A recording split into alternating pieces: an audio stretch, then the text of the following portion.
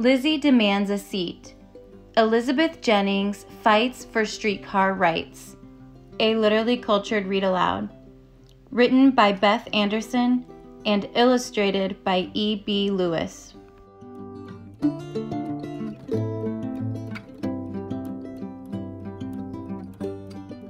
Lizzie Jennings was in a hurry, a big hurry, the kind of hurry she couldn't hold back. Lizzie's heels ticked off the seconds. If she didn't catch a streetcar right away, the choir would be without an organist. The New York City heat pressed down as Lizzie and her friend Sarah rushed to the corner. At the sight of the horses approaching, Lizzie's hand shot up. The driver pulled over and the women boarded, but the conductor took one look at them and planted himself in the entrance. You'll have to wait for the next car. We can't, said Lizzie. We're late for church. He pointed. There's another car coming. For your people.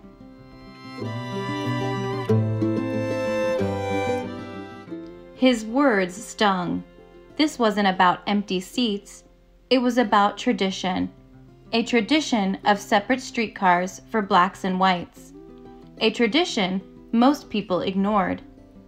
Usually, Lizzie's fine clothes and proper manners earned her a seat on a car reserved for whites. Usually, it was up to passengers to object. But not today. This conductor expected her to ride on a car for her people. A car with the sign, Colored People Allowed in this car. Lizzie swallowed hard. I don't have any people. The car's full. The conductor shooed her away. Get off.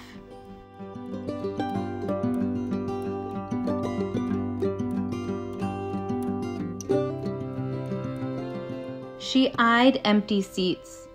Despite being born a free black in a free state, she'd never been treated as equal.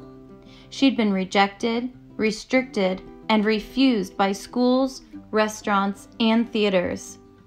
Suddenly, late for church wasn't as important as late for equality. Lizzie stood firm. Passengers murmured. Horses snorted. Pedestrians gathered.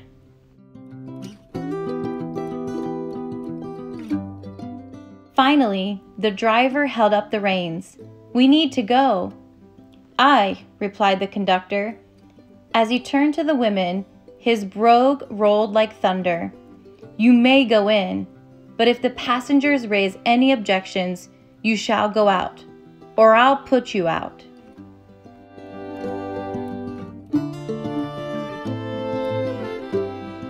Lizzie's heart pounded. Her voice broke free.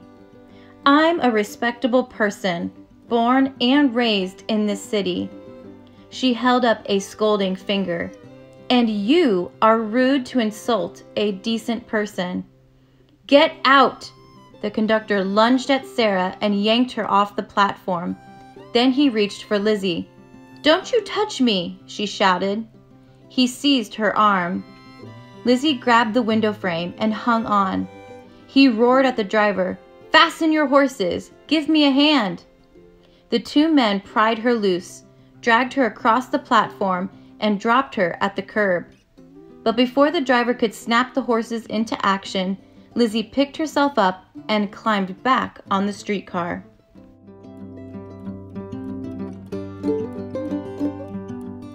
The conductor shook with fury. You'll be sorry.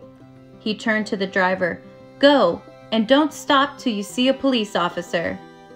The whip cracked, the streetcar lurched, and the horses took off. Lizzie looked back at Sarah, faded into the distance.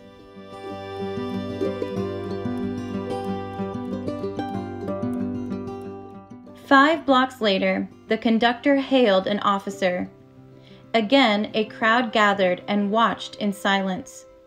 Officer, said the conductor, the passengers object to this woman's presence. It's my duty to remove her. No one objected, Lizzie said, leaping up. I have rights. The officer forced her off the streetcar. Make your complaint. You'll not get far.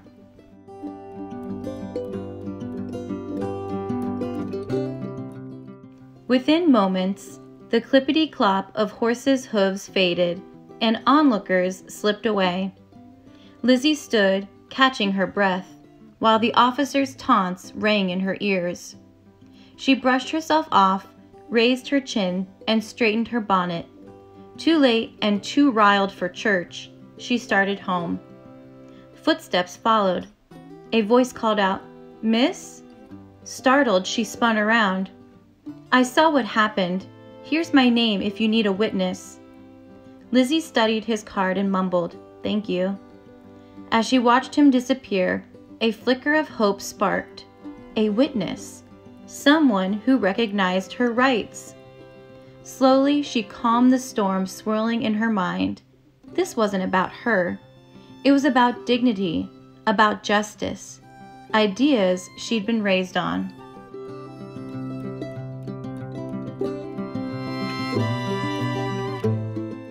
Her enslaved grandfather had fought alongside patriots in the Revolutionary War. Her parents were abolitionists, raising money, giving speeches, fighting for free Southern slaves. Lizzie had joined in the fight for equal rights in the North. She attended meetings, she signed petitions, she became a school teacher, determined to educate black children. But that wasn't enough. Blacks were shut out of neighborhoods, jobs, and schools. Nearing home, she glanced at her torn skirt. Clothing could be replaced. Her injuries would heal. Still, injustice remained, year after year after year. There was one place where justice for one could mean justice for all a courtroom. But if she failed to win, she could make it worse. Thirteen years before, a black man lost his case for the right to ride. No one had dared try again.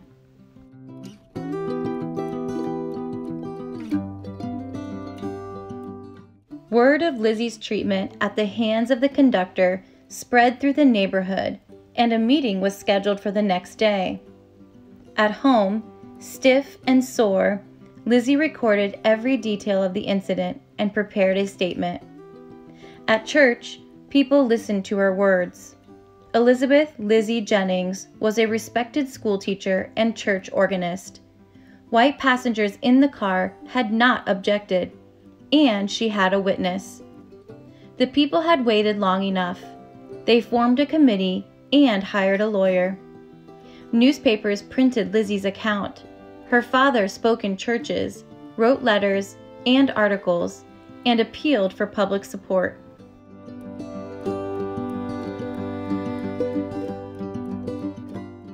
Seven months later, in the chill of winter, Lizzie hurried up the walk to the courthouse.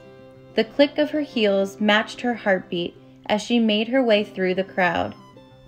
Stepping into the packed courtroom, Lizzie steeled herself with a silent prayer. She took her seat next to her lawyer, Chester Arthur. The gavel sounded and the case began.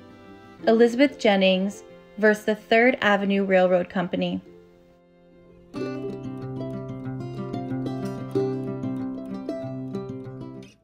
Arthur described Lizzie's attempt to board the streetcar and the assault by the conductor and the driver. He defended her right to ride. The Third Avenue Railroad Company argued for its right to do what was good for business. Lizzie weighed every word. Finally, the judge reminded the jury to keep in mind the facts as they deliberated. The Third Avenue Railroad Company was responsible for the actions of the driver and the conductor. People of color had the same right to ride as others. Streetcars were required to carry all respectable, well behaved people.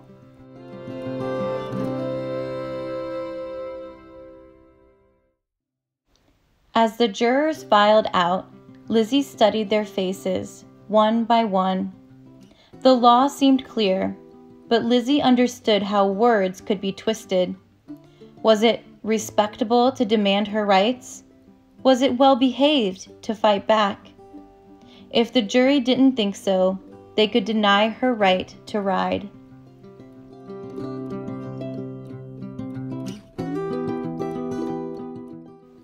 At last the jury returned.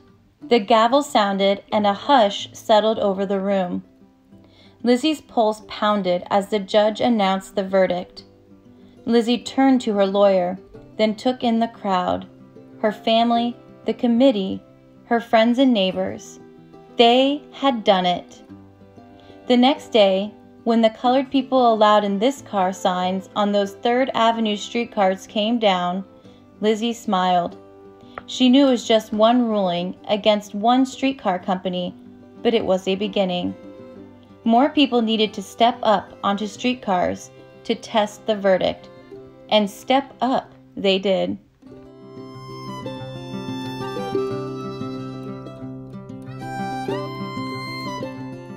A few days after Lizzie's victory, a woman fought for a seat on an 8th Avenue streetcar. Then it happened again, and again. City after city, decade after decade, for a century, fighting for the right to ride. Men and women, young and old, stepped onto streetcars, trains, and buses, inspired by the strength of those who came before them.